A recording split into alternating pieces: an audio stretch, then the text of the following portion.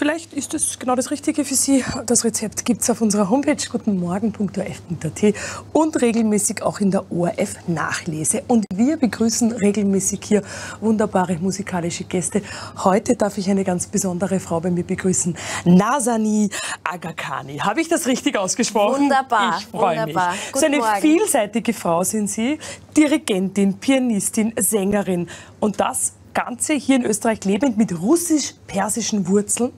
Also da kommen viele Sachen zusammen, oder? Wie kann man das alles ausleben? Aber wahrscheinlich ist es das gerade, oder? Äh. Was so. ja, Moment einmal. Also ich muss einmal zugeben, es ist, ist für mich zu sehr früh? früh. Sie sind sehr gewöhnt, ich nicht. Ähm, wie kann man es ausleben? Keine Ahnung. Ich Ja. würde sagen, Step by Step, Baby Steps, sehr langsam. Ähm, ich komponiere auch. Ähm, es ist ganz einfach. Ich bediene eigentlich zwei Felder, Musik und das Wort. Und das ist Super. eigentlich ein, ein Feld, das sehr, sehr gut ineinander greift, weil äh, Wort ja auch Klang hat. Also es ist eigentlich gar nicht so komplex. Kann jetzt, aber es hat früh begonnen, muss man sagen, oder? Naja, ja. Klavierunterricht, im Kindesalter schon. Und äh, das ist ja schon für Frauen, die am Dirigentenpult steht, das ist schon eine Männerdomäne, oder? Ja, sagen wir es mal so, also heutzutage nicht mehr, Gott sei Dank. Also es haben viele Damen, äh, die ich meine Urmütter nennen, äh, den Weg bereitet. Okay. Und äh, die Generation von, von mir und meinen Kolleginnen, wir sind sozusagen wirklich schon sehr, sehr viele. Und die, die nachkommen, unsere Studentinnen, ja, Studenten, das dritte Geschlecht, ich meine, es ist Ja, ja. bunt, bunt, bunt. Super, super, super. Wobei, hier gab es schon etwas Bahnbrechendes, wo es die Welt noch nicht so bunt ist oder war und auch nicht ist. Nämlich, dass Sie als Frau im Iran ein Orchester dirigiert haben, ein Konzert dirigiert haben, als hochschwangere junge Frau. Als erste Frau in der Geschichte. Ja. erste Frau in der Geschichte. Wie, wie, wie, wie, wie haben Sie das geschafft oder wie, wie ist das abgelaufen? Gegangen? Ehrlich gestanden, das war Fügung. Also ich hatte einen ersten Professor, Thomas Christian David, in Komposition, Partiturspiel, was man alles so machen Mhm. muss, mit zwölf. Und er hat zu mir gesagt, ich mache dich zur ersten Frau, die im Iran dirigiert. Wirklich? Ja, tatsächlich ist er aber gestorben.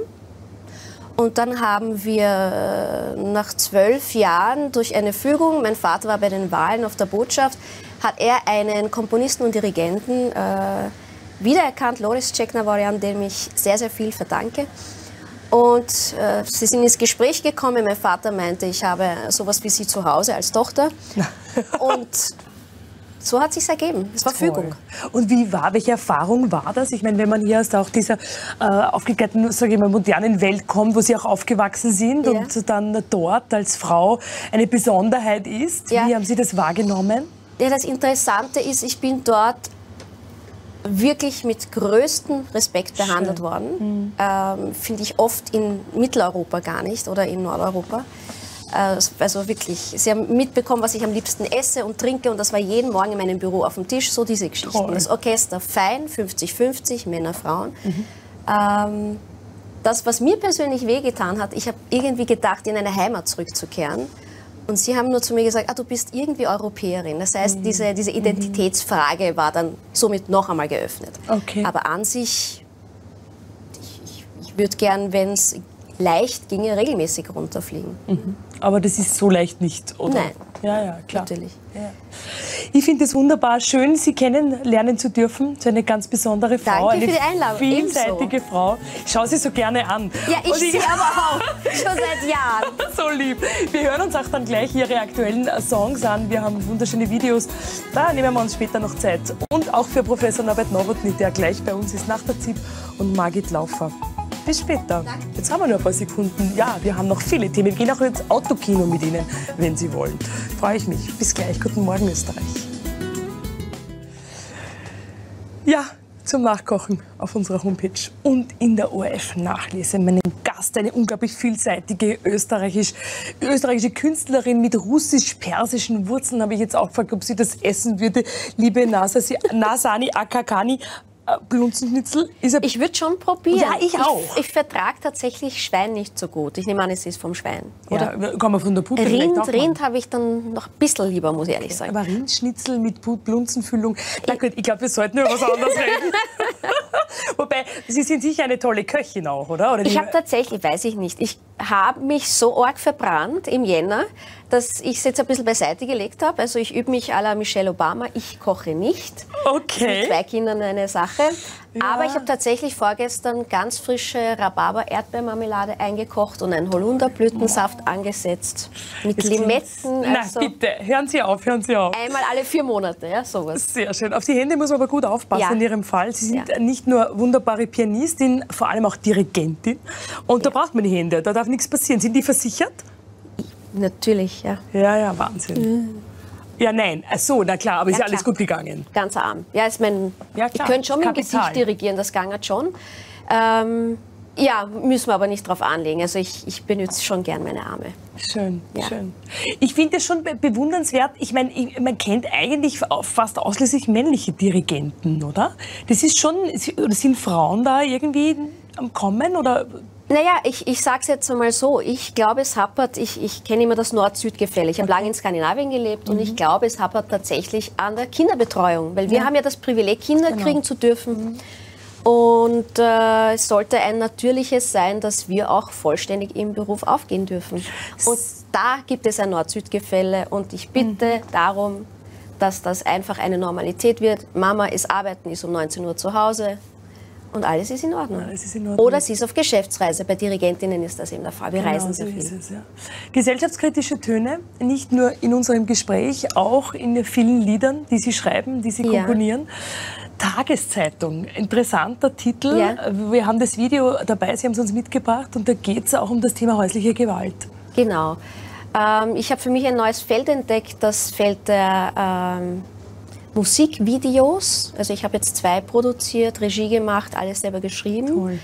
Zu meinem neuen Album eben Nona Live at Hotel Bristol, weil ich durfte ja nicht reisen als Dirigentin. Das Album gibt es jetzt digital. Ähm, und habe mich dann an einem Nachmittag im Hotel Bristol in Wien eingeschlossen mit einer ganz tollen Crew, mit ganz tollen Musikerinnen und einem tollen Filmteam und äh, habe äh, sozusagen dieses Album live aufgenommen und habe zwei Videos zu zwei Chansons gemacht. Und Tageszeitung ist tatsächlich ein Lied, das ich vor elf Jahren geschrieben habe, meinem damaligen Lebensgefährten.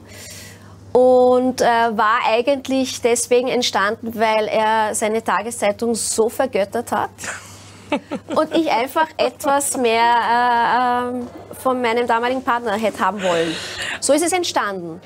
Aber in der Pandemie äh, habe ich persönlich auch auf sehr viele Leute getroffen, die äh, häuslicher Gewalt zunehmend ausgesetzt sind.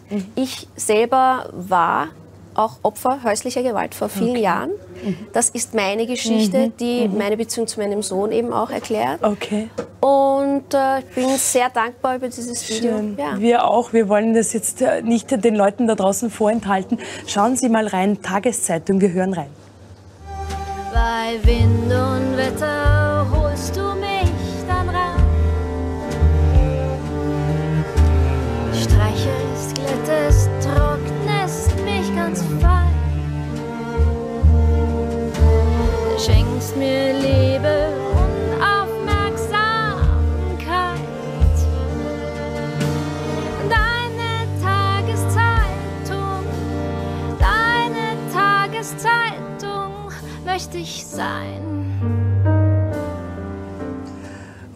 Wunderschön. In der Steiermark. Zum Hotel Bristol kommen wir gleich noch. Das zeigen wir Ihnen natürlich auch noch.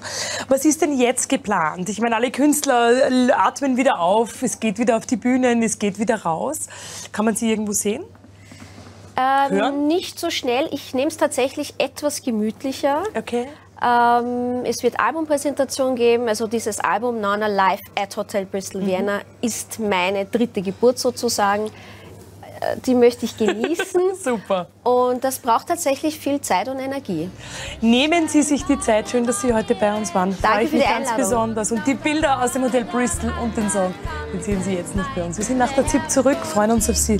Corona-Update gibt es dann vom Professor Nowotny.